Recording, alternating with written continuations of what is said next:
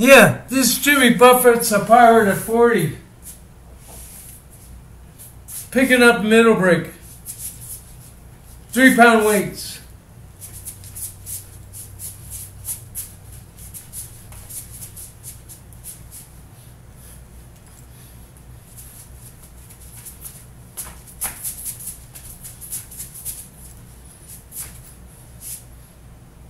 There's verse.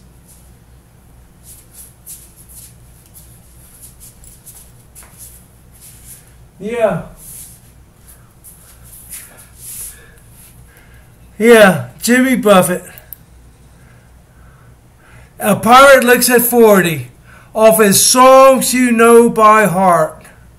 Like I said on the last video, is uh, the other good uh, Jimmy Buffett song is Defying Gravity, and that's on Havana Daydreamin'.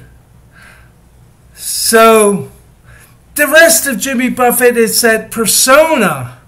Yeah, it's good music, but fuck. I'm not the least interested in that fucking persona of his.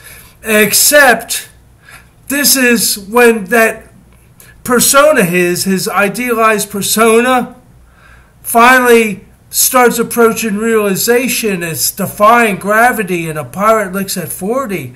That's life evaluating songs. And that's where I finally understood his persona.